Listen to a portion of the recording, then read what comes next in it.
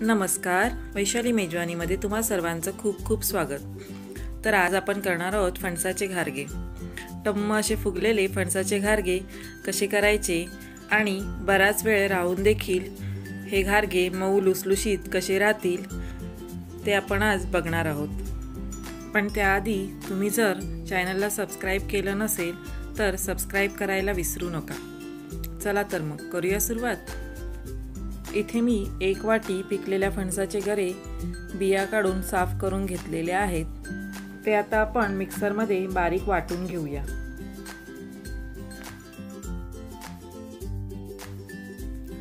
आता हे छान बारीक वाटून झालेलं आहे. जितका फणसाचा गर आहे तेवढाच आपल्याला गूळ घ्यायचा आहे. आता इथे पॅन गरम करून घेतलेला आहे. त्यामध्ये एक चमचा तूप घालून घेऊया. त्यावर गूळ घालून घेऊया. आणि वाटलेल्या फणसाचे मिश्रण यामध्ये आपण घालून घेऊया. आता गूळ आणि वाटलेल्या फणसाचा गर हा आपल्याला गूळ विरगळेपर्यंत शिजवून घ्यायचा आहे. आता आपला गूळ छान वितळलेला आहे त्यामध्ये आपण थोडंसं जायफळ खिसून घालून घेऊया. जायफळमुळे वड्यांना फ्लेवर खूप छान येतो आणि पोटासाठी ते चांगले असते. आता हे आपलं मिश्रण तयार झालेलं आहे.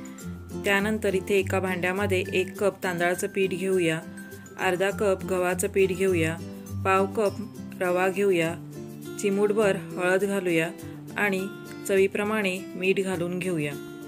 हळद ही आपल्याला फक्त कलरसाठी घालायची आहे आता आपण हे छान मिक्स करून घेऊया. आता हे छान मिक्स करू झाल्यानंतर फणसाच्या गऱ्यांचं आणि गोळाचं जे मिश्रण आपण शिजवलेले होते ते आपण गरम गरम असतानाच यामध्ये घालून घेऊया. गरम असल्यामुळे आधी ते आपण चमच्याने मिक्स करून घेऊया. त्यानंतर हाताने मळून आपण छान एक त्याचा गोळा तयार करून घेऊया.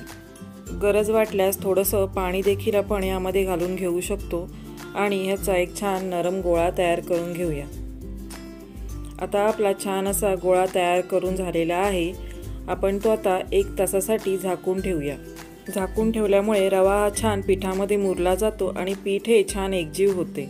आता आपला एक तास झालेला आहे आपण बघूया. आपलं पीठ हे छान मुरलेलं आहे. आता आपण परत एकदा ते छान मळून घेऊया. थोडंसं पाणी घालून आपण हे परत एकदा मळून घेऊया आणि त्याचा मऊ असा गोळा तयार करून घेऊया. या पिठामधून एक पेड्याच्या आकाराचा गोळा तयार करून घेऊया. एका प्लास्टिकच्या पेपरवर पाणी लावून घेऊया. पिठाचा गोळा त्यावर ठेवून हाताला थोडंसं पाणी लावून अशा प्रकारे तो गोळा आपण थापून घेऊया. चारी बाजूने बोटाच्या साह्याने हलक्या हलक्या हाताने समान असा घारगा आपण थापून घ्यायचा आहे. आता हा छान थापून झालेला आहे. आपण तो आता तळून घेणार आहोत.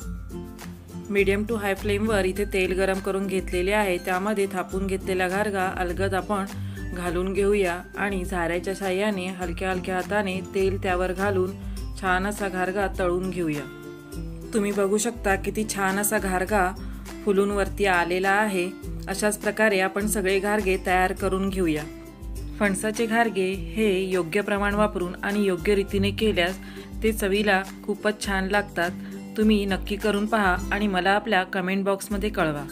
तुम्हाला आमची रेसिपी आवडली असल्यास व्हिडिओला लाईक करा आणि नवीन नवीन रेसिपी पाहण्याकरिता वैशाली मेजवानीला सबस्क्राईब करा.